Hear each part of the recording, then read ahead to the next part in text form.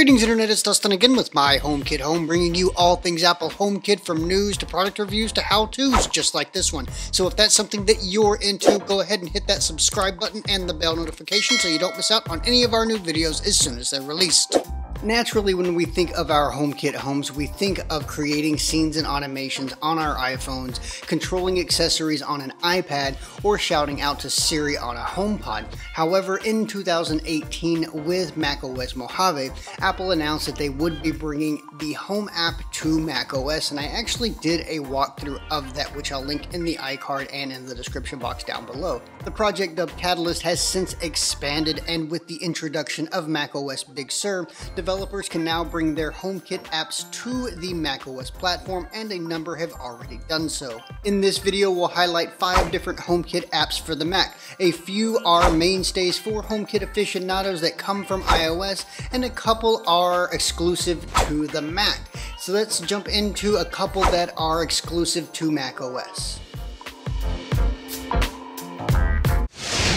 Home Control is an unassuming yet super useful app that brings you quick access to your scenes and accessories right from the menu bar. From this simple drop down menu, we're able to trigger scenes and control any HomeKit devices that have a power state service in HomeKit. Essentially, this means that if you can turn it on or off, you can control it from Home Control and we can also customize which accessories, scenes, or even homes show up in our menu bar.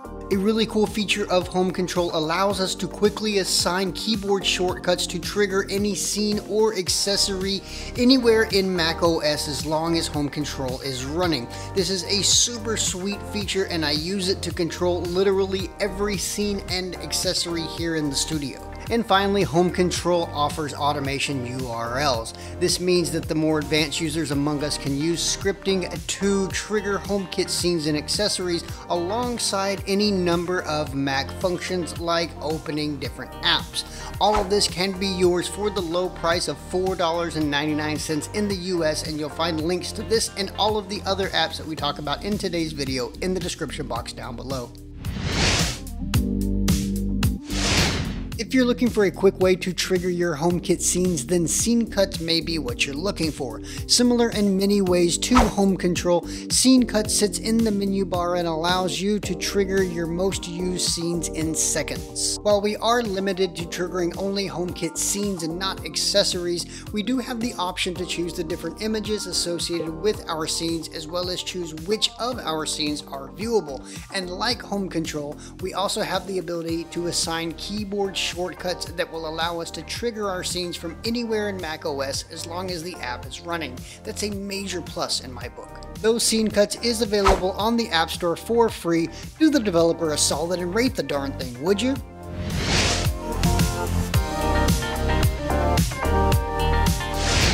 Now, menu bar control of HomeKit scenes and accessories is great and all, but what about our beloved HomeKit cameras? As soon as he could, HomeKit developer extraordinaire Aaron Pearce began adapting his well-known app HomeCam to the macOS platform, and I think it actually makes a lot more sense here. Aside from the peace of mind of monitoring your cameras, we also have access to two-way audio to communicate with who or whatever's on the other side of that camera. We can see any environmental sensor data that's in that room, and we can actually control any of the other HomeKit accessories in that room. So as you can see, this is some really powerful stuff. This amazingly useful app is available on all of Apple's OSs for $4.99 in the US. HomePass is another one of Aaron Pearce's ingenious brainchildren that stores and organizes your HomeKit codes. It should definitely be part of your HomeKit arsenal if it isn't already. Once you've scanned or manually input your HomeKit codes, they are neatly displayed in the sidebar by device type. Setting up a new device is as easy as pie, either using your existing HomeKit data or you can set up a completely new device. While we can use our Mac's camera as a way to scan our HomeKit codes, I personally find this easier to do with an iPhone as sometimes HomeKit codes can be a bit precariously placed. Either way, since HomePass does use iCloud, the syncing of your HomeKit code database is almost instantaneous.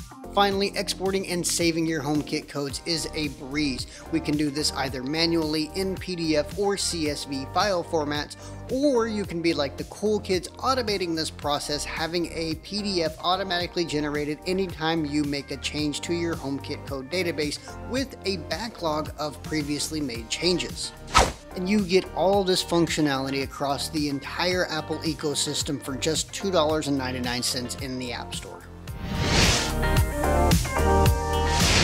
From the developer who brought us the popular Signals for HomeKit on iOS, Follow the Sun recently launched on the macOS App Store and it brings unheard of control over your HomeKit lighting picking up where adaptive lighting leaves off and really filling in so many of its gaps. Follow the Sun grants granular control of the color temperature and brightness of all of your HomeKit lighting. You can create different lighting profiles which control the schedule, power state, transition type, and brightness of your HomeKit lighting. Then you apply these lighting profiles to the different lights in your HomeKit home. You can use these lighting profiles with any dimmable HomeKit lighting product, but they really shine when used in conjunction with HomeKit lighting that supports color temperature adjustment. You can use Follow the Sun for free with one lighting profile in one room or for 99 99 cents a month, you can bring any number of lighting profiles across your entire HomeKit home. You can also grab a lifetime license for just $17.99. There are also seasonal and annual packages available as well. So I guess I should also address the elephant in the room, and that is the Eve 5 or Eve for HomeKit app. I'm not sure exactly what they're calling it these days. However, this beloved iOS app, which is one of my favorites, is now available on the macOS App Store but not for all Macs. It's only available for M1 based Macs. And unfortunately, I would love to bring you a walkthrough of it, but I ain't got it like that. But I am accepting donations if you want to help support the cause. So which of the apps that we looked at today is your favorite? What other HomeKit apps do you use on macOS? Or what iOS apps would you like to see come to macOS? Let me know about it in the comment section down below.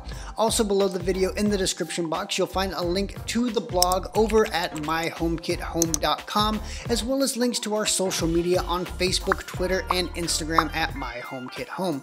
As always, if you found today's video useful, you can let us and YouTube know by giving us a big thumbs up. It really does help out the channel by helping others find our content. If you're interested in more HomeKit apps, you can check out one of these videos here and don't forget to subscribe to the channel as we will be doing more app reviews in the future. Well, that about does it for this one. I do thank you for watching and until I see you in the next one, this has been Dustin with My HomeKit Home.